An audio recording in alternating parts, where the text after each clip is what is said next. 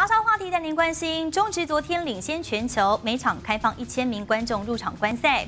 指挥官陈时中也现身在新北市新庄棒球场上，让现场的气氛非常的嗨。而且陈时中还在三局中场时登上了英文转播台接受访问。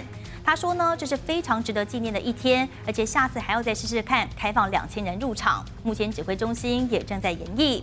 那今天记者会上，陈志忠就被问到了中指好看吗？他笑说很好看，尤其在现场是更好看的。他也回想起小时候看棒球，他说都没有像这样子大家一起跳舞。领先全球，中职热闹开打，每场球赛开放一千位观众入场观赛。就在三局下半，仔细听英文转播的主播台上来了神秘嘉宾。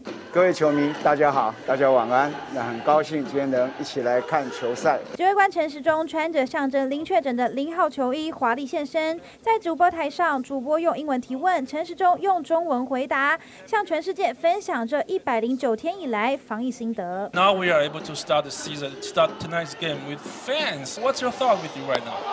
今天在一千个观众开始嘛，哈，那我觉得今天秩序非常的好。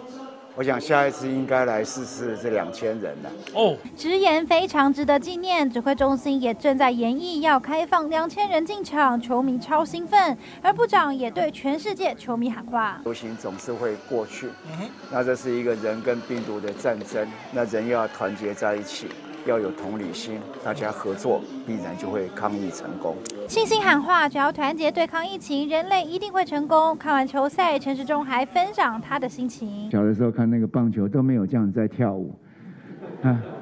真的，大家都起来跳舞这样子哈，大家都动，跟着一起动，其实这还蛮健康的。场边观众跟着啦啦队扭腰摆臀动时动，陈时中直说很健康，更相约大家一起去看球。台湾抗疫好成果，领先全球，首度开门打直棒赛，更让世界惊艳。